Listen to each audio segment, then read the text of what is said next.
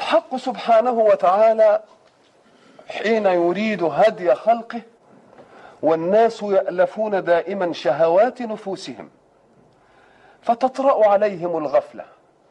حين تطرأ عليهم الغفلة ينسون شيئا من المنهج وحين ينسون شيئا من المنهج يأتي المجتمع لينبههم إلى ذلك. إذا فالإنسان قد يكون أوابا إلى ربه حين تكون نفسه لوامة.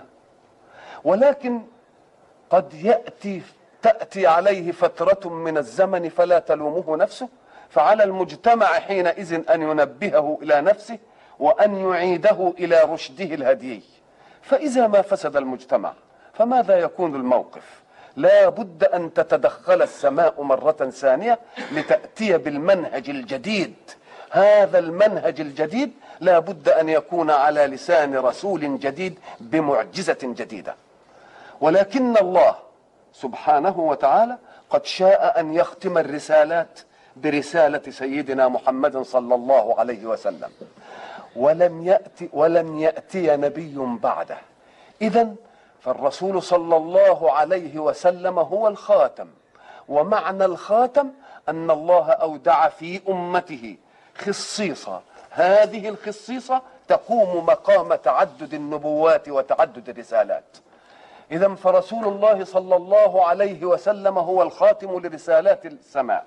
وما دام الخاتم لرسالات السماء فلا بد أن يكون في رسالته عناصر البقاء وفي أمته أيضا عناصر الحفاظ على هذه الرسالات. ولذلك يقول الخير في وفي أمتي إلى يوم القيامة.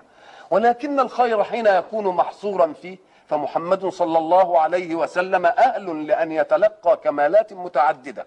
ولكن الأمة لا, تست... لا يستطيع فرد منها أن يأخذ الكمال المحمدي. فالخير فيه صلى الله عليه وسلم بأجمعه وكله.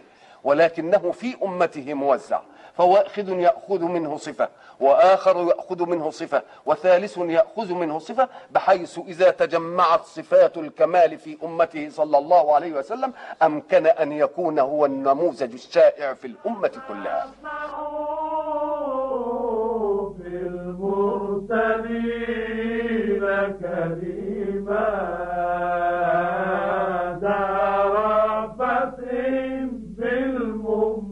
بالمؤمنين رحيما